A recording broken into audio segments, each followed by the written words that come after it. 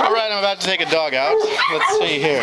Oh, I think I'll take you out. Hey, you look friendly, you look nice, but oh, my poor baby, you don't have a tag, so I can't be absolutely sure who you are. And you may have just got, oh, you did, you just got in last night, and so you don't have a yard assignment yet, so I should not put you out in the yard until a staff member has uh, done an introduction. An introduction is where we put a new dog in to the yard make sure they get along with everybody else.